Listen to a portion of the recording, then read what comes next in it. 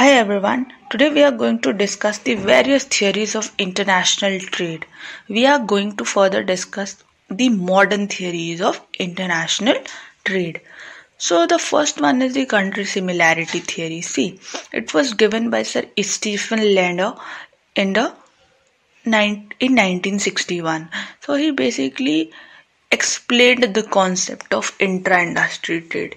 He said that if two countries are similar okay they are that is they are in the similar stages of development okay they are having same requirement of goods and services. Let's say they both are developing countries okay they both are asian countries they are neighbors okay they both are having same requirement they both are neighbors. So basically that trade can be possible between these countries okay? So basically this theory focuses on intra-industry trade right?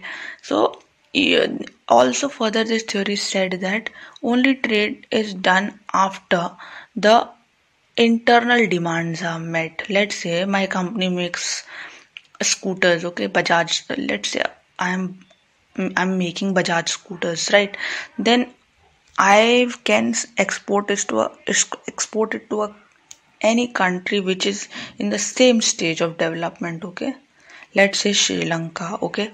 So after the internal demands are met okay then only i will be exporting okay? This theory says that. Then the other one is product life cycle theory. It was given by raymond vernon. He was basically a professor at harvard business school. He said that mm, he basically told that Product life cycle is divided into three stages. The first is new product, then maturity product, then standardized product. When we talk about new product, here the product is invented and sold in the same country in which it has been invented, okay? Then after this comes the maturity product wherein the product gets matured. That is the product is now well known to everyone in the country and it is it is it has reached its maturity le- maturity level. That is now its sales is not increasing okay? So what will happen? Now the company will start exporting it okay to other countries as well international markets why so? So that so as to gain market share and remain relevant okay then the last one is global strategic rivalry theory it was given by Paul Krugman and Kevin Lancaster, right? They believe that a country can gain comparative advantage by creating barriers to entry. This is very famous. Actually, it can relate to economies of scale, research and development, unique business processes. So, how can you create barriers for others? By becoming very good at your cost, that is, your decreasing your average cost right this is what is economy of scale wherein the average cost of a product is reduced so much that other competitors are not able to produce at that cost right? So it becomes a barrier to entry right? Then the other one is research and development right? You're doing so much research so much development that other people are not co- com- coming to that level only. Your products are so high like apple okay? Apple is the best product now uh, in today's world right scenario.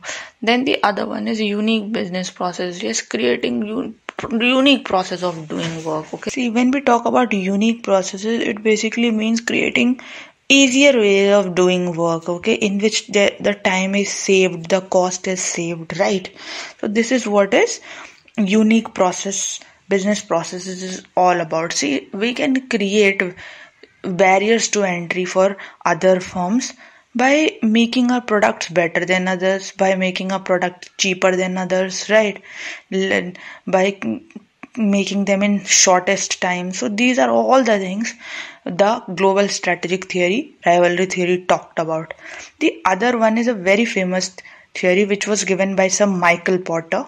Okay he's he's a professor at harvard business school okay in US so he basically gave this theory wherein he talked about all those factors in a country which can give a company a competitive advantage. There can be many factors which contribute for your company's growth okay? So it this theory is also known as diamond theory, right? So the various factors which he talked about are local firm characteristics, okay, local demand, local supplies, local market resources. So what are local firm characteristics? Here firm can has have many characteristics, all those qualities which are making it good. Good. That is it can produce at a lesser time, better processes are there, okay? It is producing at a lower cost. Then the other one is local demand. What is the local demand of that country? For example, if we talk talk about Germany, it is famous for cars, right? So the local demand is also good over there, right?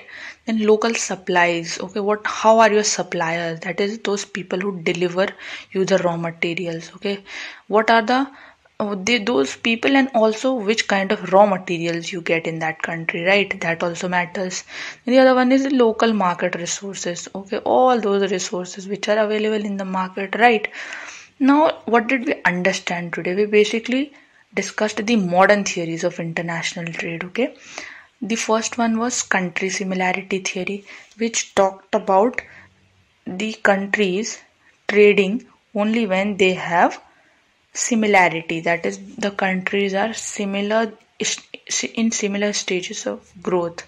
It was given by Stephen Linder in 1961. Okay, and also he said that you export only after the internal demands are met right? Then the other theory was product life cycle theory. It was given by sir raymond vernon. He basically said that it that is the product life cycle can be divided into three stages okay? The first one was new product maturity product standardized product. When the product is new that is it is invented it is sold in the same country for a very long time till it gets matured okay then after this, when it reaches its maturity level, it is sold internationally, okay, to increase the market share to remain relevant in the market, okay.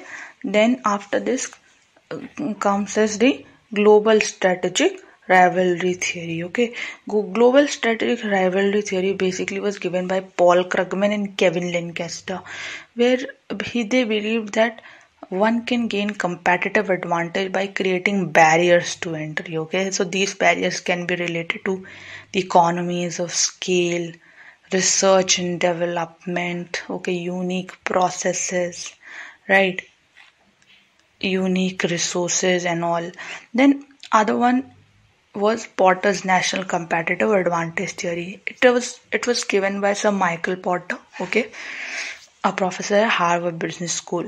He basically talked about all those factors, basically four factors which can lead to comparative competitive advantage of a country, okay, or a company. So these factors are local firm characteristics, local demand, local supplies, okay, and local market resources, right? Now let us practice some important questions. Which theory of international trade focuses on trade between two similar countries? A. Product life cycle theory. B. Heckscher-Ohlin theory. Right. C. Country similarity theory. D. None of the above. See, we discussed that uh, when two similar countries when two countries are in the similar stages of growth then the trade can happen between those countries. And this was basically given by sir uh, basically given in the theory country similarity theory okay? And it was given by sir stephen landau in 1962 so the correct answer for this question would be country similarity theory.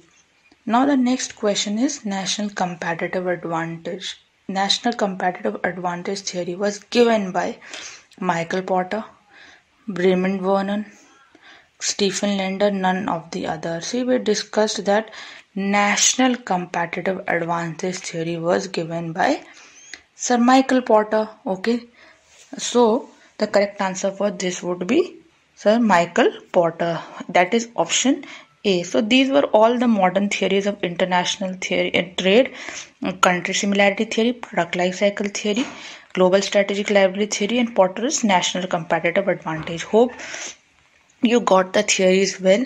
Thank you so much for your time.